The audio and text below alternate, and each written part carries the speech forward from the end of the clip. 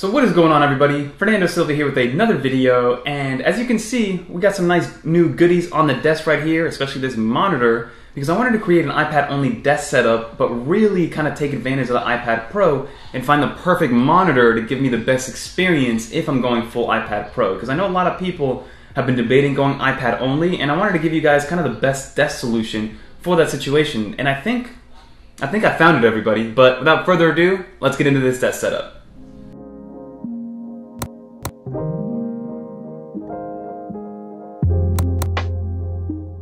So to get this video started, the first thing that we gotta talk about, especially if you're new to the channel, is the iPad that I'm using for this desk setup. So I have the M1 iPad Pro, the absolute base model, the 12.9 inch. So I do have the mini LED display, Thunderbolt with the new M1 processor, and all that good stuff, right? So the 12.9, 128 gigs of storage, 8 gigs of RAM, and then also no cellular, so only Wi-Fi, because I just decided I'm at home a lot, I don't really need the data. I thought I did prior to the pandemic, but now I'm in a situation where I'm always on Wi-Fi and I don't really need that.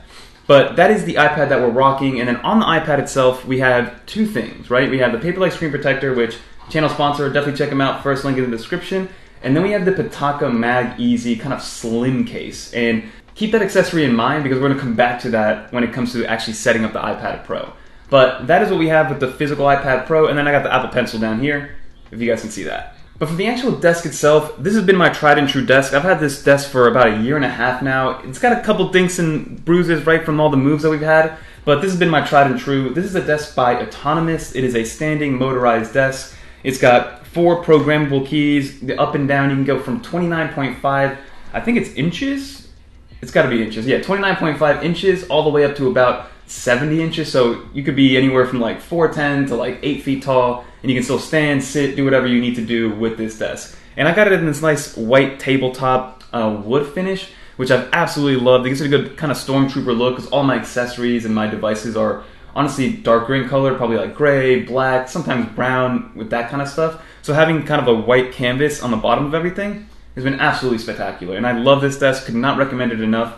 Yes, it's a little bit pricey. I think they they range anywhere from like 600 to like 1200 bucks. And but for the money, it's been worth it. Like I said, it's got a couple dings and dunks, but it's not the desk's fault. It's, it was a mover's fault, honestly. But it still works perfectly. The legs and the motors, super super sturdy, super strong, and it's never had any issues with pretty much a ton of weight on here. I've even put myself on here and been able to lift myself up. So that is the desk that we're rocking with this iPad Pro desk setup. So the next item that we're going to talk about, and this is this the big gun over here. This is the new 32-inch monitor by BenQ. The exact number is the I had to write it down. It is the EW3280U, right? So that is the the build number or the model number for this monitor. Is again 32-inch 4K HDRI, which is their technology. We're going to touch on in a second, but there's two big reasons, or I guess three technically, that I got this monitor in particular. Because if you guys have been following the channel before this one, we had a 29 inch ultra wide monitor. It wasn't curved. It was by LG. It was it was great for the price. It was about 180 to 250 dollars, I think, when I got it, and I did get it at like one of those wholesale stores, you know, Costco, Sam's Club, and you know, for the money, it worked. It was perfect. It was fine. It had pretty much everything you needed, but for iPad uses and iPad situations, the aspect ratio just didn't make any sense. So in steps in this BenQ monitor, the 32 inch, and you can tell it's a very, very tall monitor, very different from what I'm used to. And the reason is because it's a 16 by 9 aspect ratio. And again, the iPad Pro is basically a square, right? It's almost a square. I want to say it's a 4 by 3 or a 3 by 2, I want to say. So it's very square when it comes to iPad Pro. If, if it was 4 by 3 then it would fit perfectly. But you can see that there's a little bit of black bars right here. So I believe the iPad is a 3 by 2 aspect ratio, and that's why it's not fitting perfectly. But you can see that it works a lot better. So that was the main reason. The main reason was the aspect ratio and then the second thing was that it does connect via USB-C as opposed to HDMI. It does have two HDMI ports on the back, but it also has a main USB-C hub, which is directly connected to this iPad Pro. It charges the iPad Pro and feeds video to the iPad Pro. And then one of the biggest deterrents from my last monitor with the iPad Pro, no matter how I connected it, whether with a USB-C hub or HDMI or whatever the case may be, there was no speakers on that monitor. And whenever you plug an external monitor into your iPad Pro, it defaults to those speakers whether or not it has speakers built into that monitor and you can't get rid of it unless you put like a Bluetooth headphones on or a Bluetooth speaker on the side. So it automatically defaults to the speaker system inside of the monitor. And again, my LG monitor did not have any speakers, so it was always so annoying. Like I needed to have headphones, which wasn't a huge deal, but sometimes I just want to listen to things out loud and edit with video out loud and things like that. But now, BenQ, this monitor has built-in speaker system, which has been absolutely amazing, super loud, and I'm just very happy with this monitor so far. I've had it for about a week. They did send it over, and they are watching this for the first time just with you. They didn't tell me what to say. They just wanted my honest review on it. So far, for the week that I've had it, it's been great for this iPad Pro, but I'm gonna have a full review on this actual monitor. I just kind of wanted to tease a little bit and show it off because it's pretty awesome. But again, I'm gonna use this for about a month or so, give you guys a full long-term review to see if this monitor is worth it because again, it's not really that cheap. It's about 600 bucks depending on when you get it. So again, if you're gonna make a purchase for a monitor like that, it's better it better be working well long term, so stay tuned for a long-term review. Oh, and it brings a controller. Like this thing feels more like an awesome TV built for computers and for iPads as opposed to like a monitor that happens to also play some like multimedia stuff. Because this thing is a tank. It's very awesome. I don't know. It's just it's very cool. It's very different from what I'm used to, and I've been loving it, especially like I said for the iPad Pro. Okay, so now let's talk about what the iPad Pro is actually sitting on. And I told you guys to remember that MagEZ case that the iPad has on it. Now this MagEZ case, it, ha- it, has a couple of functions, right? The first one, it originally came out to give you side rail protection while using your iPad Pro with the Magic Keyboard. So it's a very thin case. I believe it's like 0.5 millimeters in thickness, so like ultra thin. It clips onto the back of your iPad Pro. It has a three pin connector pass through, which allows it to still be used while on the Magic Keyboard while having that on there. So it's an amazing thing to have. It does give you added protection, right? But then this year, what Pitaka did was like, hey, let's get this MagEZ case, slap on some more magnets, and then give it an actual stand that can work as a dock for whenever you need to actually use it on a stand, right? So that is what this is kind of transformed into.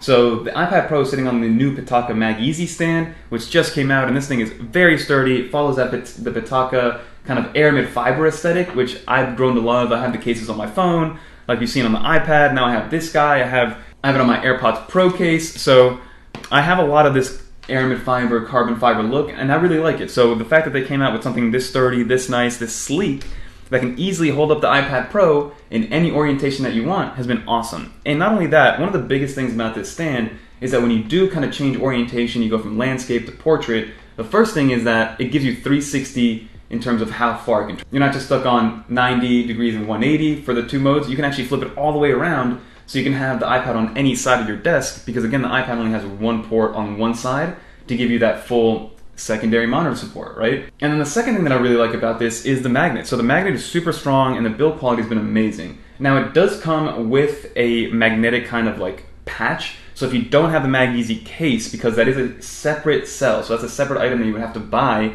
you can actually just slap the magnet onto the back of the iPad Pro, which I hate doing. I'm never gonna put like a sticker magnet on the bare back of my iPad Pro the only thing that I would put on the bare back of the iPad Pro is a dbrand screen, which I've done before. But when it comes to that kind of stuff, I'd rather just get a case, you know, get a super thin case, maybe put that magnet on the case if you want to save some money, or get the actual proprietary case from Pitaka. And then the last thing that this little stand has is actually a wireless charger, right? It has a wireless charger, it gives you up to 7.5 watts of charging. So this is perfect for AirPods Pro, you know, your headphones, you can charge your phone with it, things like that. I actually don't have it plugged in because I don't need it right now. I kind of just use this as a stand for the time being because I'm going to show you the actual wireless charger that I use on the other side of my desk. But that is what the iPad Pro is sitting on, and I absolutely love this. I've had this also for about two weeks, and again, I'm just very impressed with the overall sturdiness, the build quality, you know, what it's made out of. Just been loving this stand, and so far, one of the higher quality stands that I've been using. And now if we move towards the middle of the desk, right, because this is where we have pretty much how we interact with iPad Pro. So I have four things on here. So on the bottom, you see my Orbitkey XL mat. This thing has been with me for a few months now, and I think it's sick. It's the coolest kind of desk mat or like the most advanced desk mat that you can get that doesn't have like RGB lighting. So RGB I think came and went. Now everything has RGB, so no more RGB for me.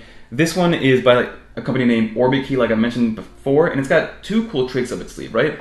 First, it's huge, right? That's not really a trick, but I'm just gonna let you know the XL mat is huge. I got the XL mat thinking that it wouldn't be that big because normally I get XL mats and they're, you know, the size that I want. So I got the XL mat this time and this one is really big. So if you guys don't have a big desk, get the regular size one. I'm telling you right now, save your money, save the hassle of returning the XL one, and get the smaller one.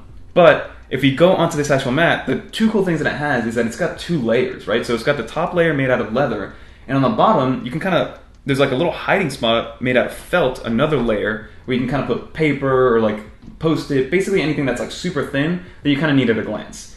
And then the second thing that it has is this little like divot on the top, which A can hold your Apple Pencil because there's magnets on there, right? So there's magnets in there, and the reason there's magnets in there is because it's got a little like magnetic cable organizer that slides back and forth. So if you do have something that you're charging, let's say you got to charge your wireless keyboard, you kind of just slide the cable through there, and then you don't have any clutter with cables and things like that. So very simple design, but also very intuitive, and there's a lot of nice like functional use cases as opposed to like something being expensive just because it looks cool, right? So and then also this this like magnetic organizer for your cable is very heavy. It's almost like you can use this as a paperweight as well.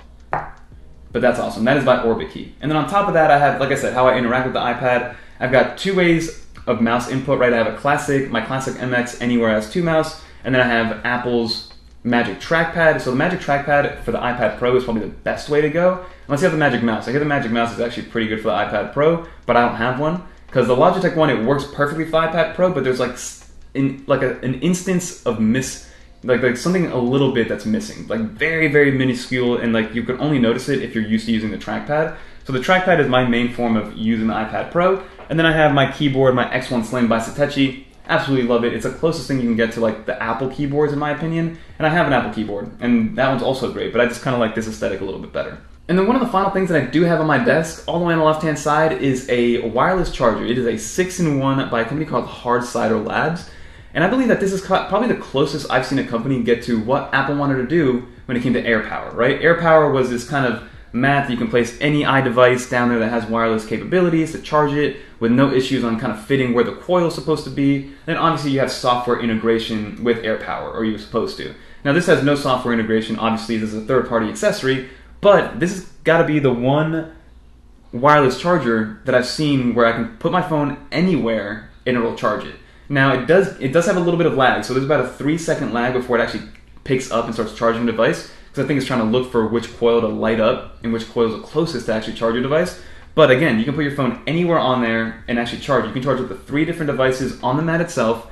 You can charge your Apple Watch, as you can see on there, and then you can also on the back there's a USB A out and a USB C out. So one thing that I have noticed is I've used this one for about two months now. First of all, I love the aesthetic, love the build quality. It's got like this nice soft felt also on the top, but it's also very sturdy and heavy, made out of metal. It's not plastic at all. But one thing that I did notice, if you do use the ports on the back, right, because I like to use the USB-C port to charge my iPad Pro sometimes, if need be, if it's on the Magic Keyboard. And one thing that it does do, if you have two or more devices wirelessly charging on this device, sometimes it'll cut out the power to the product that's being charged by a physical cable. So keep that in mind. It doesn't really mess anything up. It still charges everything. It just charges it slower. And just know that the more stuff you put on there, the slower it's going to kind of divvy up all the energy and all the charging speed to all the devices that you have on there. So that one's by Hard Cider Labs. Highly recommend it. I absolutely love it. It replaced the, the big one that I had before that I had for like six months by Pitaka also, which that one was also a six in one. But that is pretty much everything on this desk setup. I wanted to keep it as minimal as possible. Again, only things that I really, really need with me for this iPad Pro desk setup, because this is where I come to edit videos. This is where I come to kind of get work done. This is where I come to answer comments and make sure that everything on the YouTube channel is running smoothly, right? I don't want any other distractions, and that's what I think the iPad Pro is. It is the ultimate single task machine, in my opinion. If you find a way to get from point A to point B on your task, and you need to get it done, get it done on the iPad Pro, because you're gonna get it done quicker, more efficiently, and it's going to be honestly a little bit more fun too with the touchscreen and everything like that. But that's pretty much going to do it for this video. And the last thing that I do like about this is I have my Magic Keyboard always with me right here, so if I ever need to actually get up, I just unplug the iPad Pro, plop it off there, throw it into here without having to like take off any cases or anything, and then I'm on the go. So it's a perfect kind of, it's almost that perfect sit and dock situation that we wanted with the iPad Pro. We're just waiting on that real secondary monitor support. And stay tuned because I have somebody that reached out to me about a new project that they're doing about some form of secondary monitor support for the iPad Pro, and it's not shift screen. So keep that in mind. If you guys made it to the end of the video, you guys are amazing. But that's to do it. Don't forget to like, comment, subscribe. Let me know if the sound got better, please, because we're still working on getting a better sound quality and soundproofing the room and things like that. But I know this was a long video. Thanks so much for watching. Until next time,